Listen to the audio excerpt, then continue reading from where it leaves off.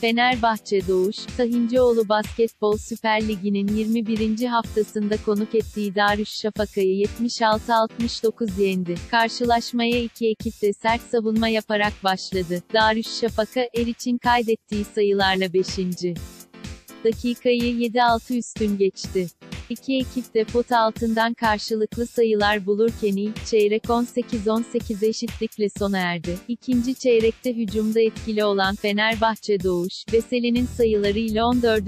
dakikayı 27-22 üstün tamamladı.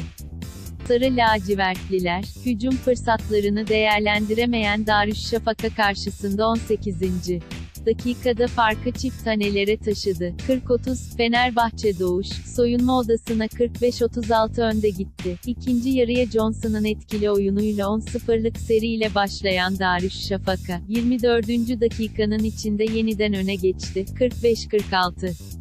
Ardından mola dönüşü savunmayı sertleştiren ve 9-0'lık seri yakalayan Sarı lacivertliler, 27 dakikayı 8 sayı 54-46 farklı önde tamamladı. Fenerbahçe Doğuş, final periyoduna 62-54 üstün girdi. Son çeyrekte karşılıklı sayılarla başladı.